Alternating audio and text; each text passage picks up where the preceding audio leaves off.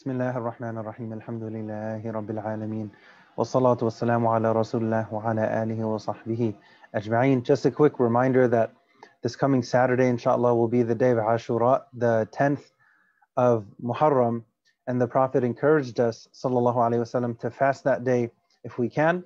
And the reward for fasting that day, that one day, subhanallah, if you fast that day, then all of your minor sins from the previous year are forgiven. So you find a little bit of effort resulting in this huge reward. Clearly, it's an awesome opportunity. And why do we fast on this day? And by the way, it's also encouraged, if you can, to not only fast that day, the 10th, but to also pair it with uh, the day before it. So the 9th and 10th, or the 10th and 11th. And if somebody really wants to ball out and they go for the 9th and 10th and 11th, alhamdulillah, right? It's all good. And for whoever cannot fast, right, you're still rewarded uh, based on your intention. We ask Allah to accept your intention and all of our intentions and all of our efforts. The what makes this day special as it relates to the fasting component is that this is the day on which Moses, Prophet Musa alayhi salam, and his people were saved from Fir'aun and his army and their collective oppression. So it's a reminder.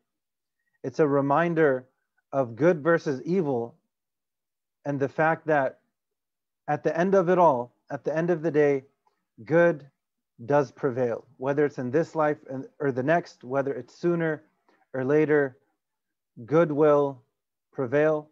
We ask Allah to help us to connect more with the story of Prophet Musa alayhi and to connect more with his legacy and the lessons that we can learn from his example in general, especially different ayat in the Quran, different verses in the Quran. For example, when Allah commands Prophet Musa alayhi salam, we find this in Surah Taha in the 20th chapter of the Quran when Allah commands him to go to Fir'aun. اذهب إلى فرعون إنه طغى. Prophet Musa alayhi salam responded with dua. That was his immediate response. That was his, his go-to response. He immediately turned to Allah and he asked Allah, Rabbi shrah sadri. He asked Allah to expand his chest. Shrah li sadri wa yasir li amri. And to make my task easy for me and to remove the knot from my tongue and to make him understand what I'm trying to say, to make him understand my words, my message basically, and give me support from my family. Harun is my brother, so on and so forth. The point is, so from this part of his story, you find when Allah commands him to go to Fir'aun, he responds with dua Right? And then you find when he has his people with him, and on one hand, you have the body of water, and then on the other hand, you have Fir'aun and his army fast approaching. And some people close to Musa, they, t- they turn to him and they tell him, Inna lamudrakun.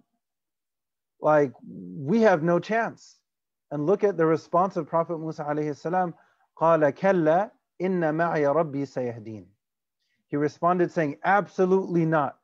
There's no doubt my Lord is with me and he's going, like he's about to guide me right now. He said سيهدين with the sin. He didn't say سوف.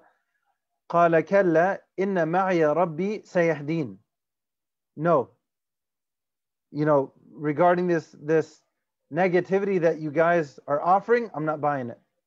Inna ma'iya rabbi sayahdeen. Allah is with me. He's about to guide me, you know, through this situation. He's about to, to guide us through this situation any moment now. And what ended up happening? Subhanallah. Many lessons we can take from the story of Prophet Musa. There, there's a lot of wisdom that uh, that's that's packed into the fact that he's the most mentioned prophet in the Quran by name. Alayhi salam, peace be upon him. Let's take some time to, to learn more about him. Let's also take more time, uh, take some time, take more time to learn about the legacy of uh, Sayyidina Al Hussein radiallahu anhu. He also was martyred on the 10th uh, of, uh, of Muharram on the day of Ashura. We ask Allah to help us to learn from each of these examples and we ask Allah to help us to reflect as it relates to Islam and even our understanding of Islam. We ask Allah to increase all of us in knowledge that is of benefit. Amin Rabbil Alameen. سبحان ربك رب العزة عما يصفون وسلام على المرسلين والحمد لله رب العالمين